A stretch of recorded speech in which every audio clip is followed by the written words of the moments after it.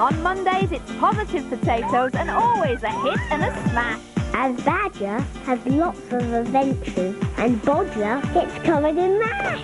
On Tuesdays, it's always silly. A man with the funniest face Has lots of crazy capers. causing trouble all over the place.